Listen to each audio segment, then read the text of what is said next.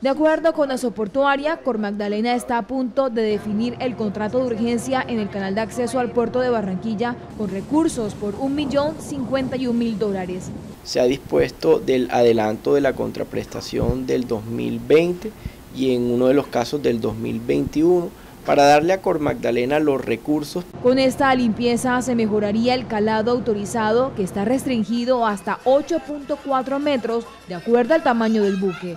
130 mil metros cúbicos en el kilómetro cero y unos 80 eh, mil metros cúbicos en el kilómetro 14. Se espera que esta semana se reciban las propuestas, se escoja el contratista e inicien los trabajos que puedan durar hasta ocho días. Hay una draga que está en Barranquilla que es de la empresa Vanort que están muy interesadas en hacer este trabajo. Boscalis es otra empresa que tiene una draga en Curazao. Esta tarde Cor Magdalena declaró la urgencia manifiesta para contratar el dragado. También envió comunicaciones a las embajadas de Bélgica y Holanda y abrió una invitación pública a presentar ofertas de equipos de dragado disponibles.